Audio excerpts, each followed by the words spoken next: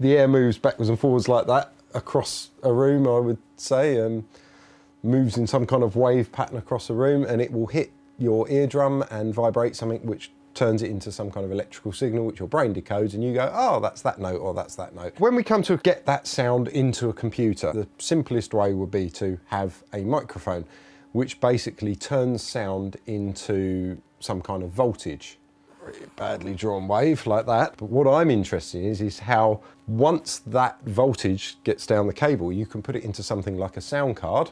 Here's one that I've got sitting up here. I've actually got a few lying around and they convert what would be an analog signal, something coming through a guitar lead or a microphone cable, and they'll turn it into something that a computer can use, which is basically ones and zeros, a, a digital signal. There are two numbers that you associate with a wave file, one of which is called the bit depth, and then you've got another thing which is called the sample frequency. So basically these are the two parameters you use to um, convert an analog signal to a digital signal. I'll start with the sample frequency, the one I wrote down second, um, and that is basically the number of times per second that the computer will stab in and go, what is this level here? So if we say, you know, there's a number of different levels, you know, one going up to whatever, this axis here is time, and it will go across here and, and stab in there and go, that's the level at that point, and that's the level at that point, and that's the level at that point. And it will record these as, as numbers, so you might get like five, six, eight. So the number of slices per second that it does is the sample frequency. And obviously, the more of those you put in per second, in theory, the better quality the audio is going to be. Now, for a big wave like this, you don't need a particularly high sample frequency because what you're getting there are tiny little details. You could probably stab in two or three times in each cycle. But obviously if you start to get a wave that's much more like that, if you only sampled there and then the next sample you took were there, you're going to miss all of that data there. It's just going to end up cutting off what you would consider the treble, all the high frequencies, so the higher notes would just be cut off. I'm talking about physical high frequency data. So, so, we're, so we're talking about high notes, like like screechy notes. You know, if you like run your uh, you have two bits of glass scraping against each other, it produces a really high frequency which hurts your ears. That is a real top end note, and something that's like a ooh, real low sonic boom sort of note. That's a real low frequency because it physically has a longer wavelength and the high-end frequencies have a really short wavelength. Now we only hear up to around 22,000 hertz, so we call that 22k.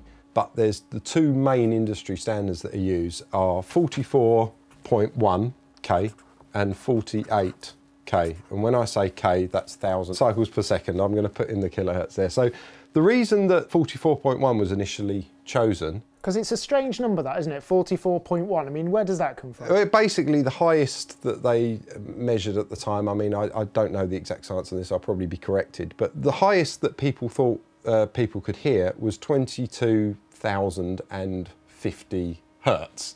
And to get the full cycle of a 22,050 hertz wave, you need to double the sampling frequency. They picked 44,100 hertz as the sample frequency to be able to recreate anything that we can hear as human beings. For various reasons, that got changed for video. So CDs and audio MP3s and other such things generally come out CDs definitely do, and MP3s most of the time come out at 44.1. And if you put a DVD or a Blu-ray in your player, you will be listening to audio at 48K. So computers and other devices, you know, digital hi-fi amps, other stuff like that, need to be readily available to convert between those. Now, there's other people nowadays who use 96K. Some microphones can't hear as high as the human ear, so maybe they're not picking anything up above 16K.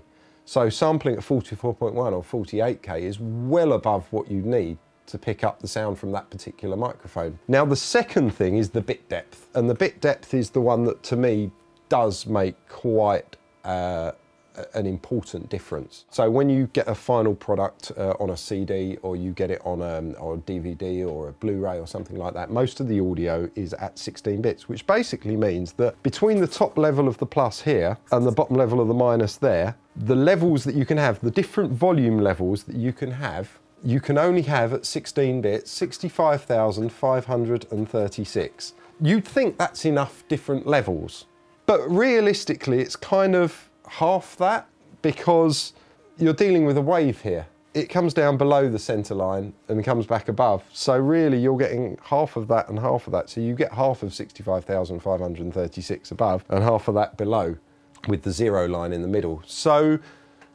you probably think that 32 and a bit thousand, I'm not going to do the exact maths, 32 and a bit thousand levels would be enough. And for a final piece of finished music that that is kind of mastered and ready to go out, it probably is, which is why that's why we get, you know, that's the CD standard and that's the DVD standard.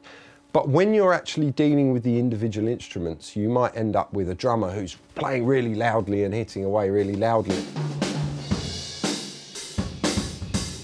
And then right at the end, he's just doing a little cymbal swell. And there's the tiniest little amount of volume going on, and you just want that volume to stay right to the end till the cymbal stops ringing. And unfortunately, when you're dealing with those raw files that haven't been mixed and there's not a lot of other things going on, if you record at 16 bit, you can really hear it being grainy because it's all very well saying when you're dealing with a wave that's like that, you've got loads and loads and loads and loads and loads. I mean, you could have 32 and a bit thousand levels there to deal with. But if the wave that you're dealing with suddenly becomes only that big, you're only dealing with that amount of the space.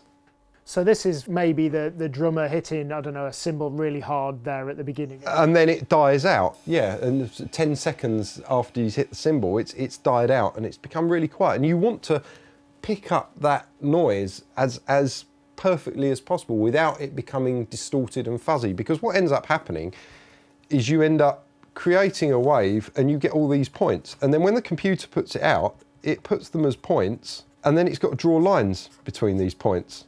And if you haven't got enough levels, you end up with effectively square waves, which don't sound particularly nice. They said you get quite a buzzy sound to them. So if you hear right on the end of a fade out of a track and you turn it up really loud in your hi-fi, you might be able to hear the, the song starting to get a bit zzz and a bit zizzy and a bit fizzy at the top end. And that's effectively what's happening here. So when you're doing recording, if you're trying to record a drum kit and then a guitar and then a vocal, and, and going through and actually layering up as a song, you generally want to be recording at 24 bits. So for a 24 bit signal, we end up with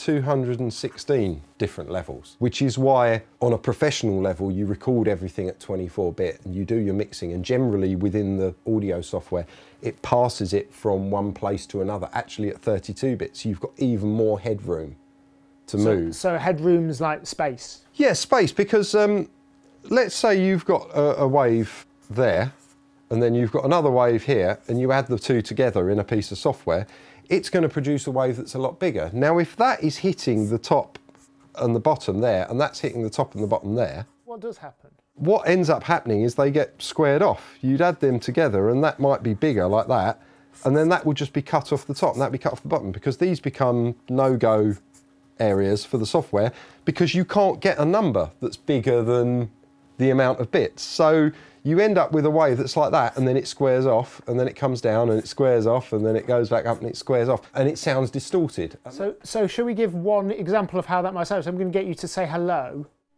Hello.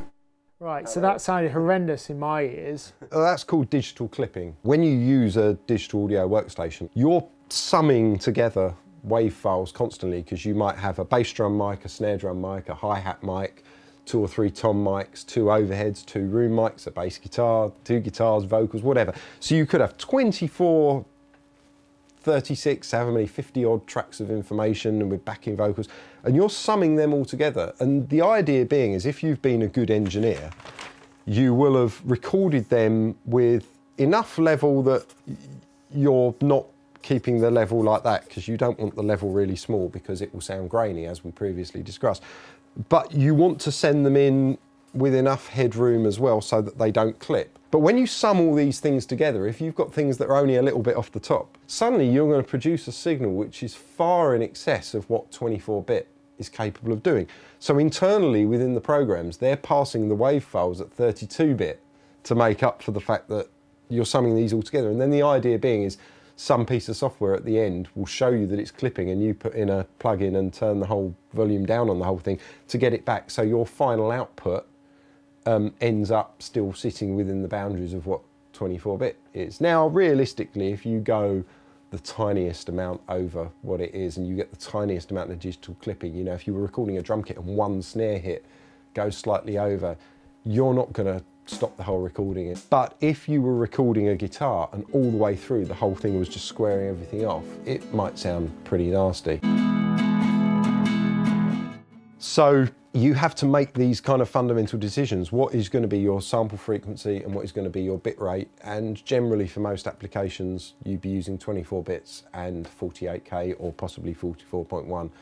You end up with all sorts of annoying artifacts when you're converting from one thing to another. You're either downscaling or upscaling. You're either throwing away data or you're adding in data and you're having to artificially make the data. So converting between 48K and 44.1, vice versa. It's not the bulk stuff you hear, it's the, the cymbals and the real high-end frequencies, the treble stuff. That's where you're going to lose the detail by doing that. But there's great algorithms out there that do all that kind of stuff. I don't. I just run it through my software, click the button, it does it. We'd like to thank WhisperSync for Voice and Amazon and Audible Innovation for sponsoring this episode of Computerphile. Do you wish you had more time to read? You know that point where you're really a good bit in the book, but somebody rings or a reminder goes off or your alarm goes off and you just have to leave? Well, WhisperSync for Voice means you can stop reading and switch to listening to your book at exactly the same point that you've just left off. Find out more at amazon.com slash computerphile. When you buy the Kindle book, you just select Add Audible Companion. You can add narration to over 60,000 Kindle bestsellers and popular titles. Just check out amazon.com slash computerphile for the full list. Thanks once again to them for sponsoring Computerphile. This, and your is what would normally be your compass heading. So it's your, your, uh, your magnetic compass heading. The phone can detect all of those aspects. The trick is then how we pass information to the plane itself.